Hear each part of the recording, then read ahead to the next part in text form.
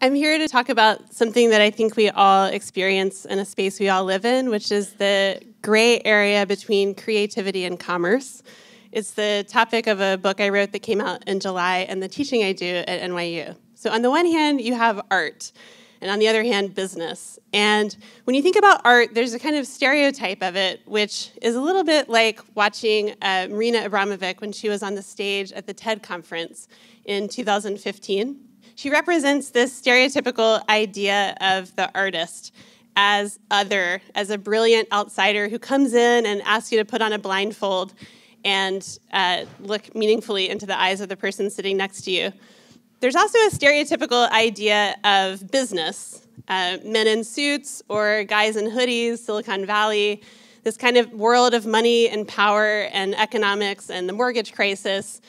Thank you. Congratulations on your all male panel.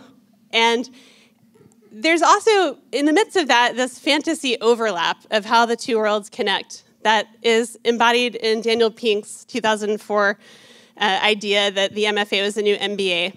So, this is actually a little bit personal to me because in 2004, I was finishing an MFA after already having an MBA, and I was very deeply aware that I could change identity by changing clothes.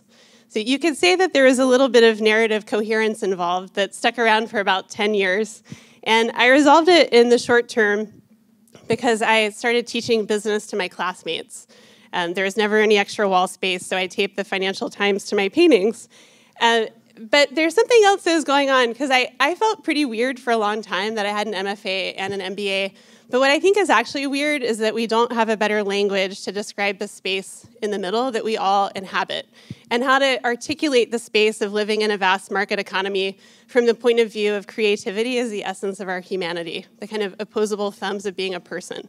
So the first thing you need is a little bit more of a Swiss Army knife definition of art, something that's not about paintings or even Kickstarter projects, but about showing up to a kind of unknown space in any area of your life, navigating without a template. And for me, that's defined as a process not of going from point A to point B, but inventing point B in any area of life. And that involves leading from questions as opposed to, to solutions and taking the risk of asking the questions that actually matter. So, not uh, can I design a better airplane, but is flight even possible? In any area of life, large or small, grand or not grand. So I, I think there are a couple of things that come up here on the MBA side that are really difficult, and Yancey mentioned them earlier, which is that the market is based on an equation of price equaling value, and it never equals value when you're doing early stage work. You have no idea if it'll succeed or fail. You have no idea if you'll do it efficiently.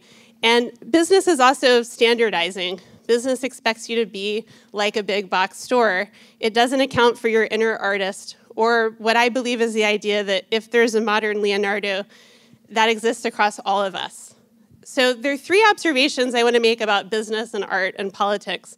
And the first is that we live in an age of the democratization of creativity, but not yet of ownership. Technology and the blockchain are uniquely poised to change the way that we design our working lives and to pixelate business models, which means that business models are the design medium of our time, that we all have a responsibility to understand business well enough to design the containers around the creative work that we do. And lastly, I think that art is actually the political medium of our time, that independent thinking is the greatest lever of power in any democracy and that that is the essence of thinking artistically, uh, especially at a time of small talk and the Trump era. So let me tell one story about art thinking, which is about a man named Roger Bannister, who's number 41 in the middle, and a project of inventing Point B. In May of 1954, Bannister is the first person ever to run a mile in under four minutes. So, a few things. He didn't do it by himself, he did it with his friends who were excellent runners in their own right. One of them was a world record holder. And he wasn't a professional athlete. He was training to be a neurologist, and he did these workouts on his lunch break. He also started the process from a point of failure and gave himself two years to do it. And he upset a world record that had stood for nine years and only held the record for 45 days because it's so much easier to see someone do something and best an effort than to do it yourself.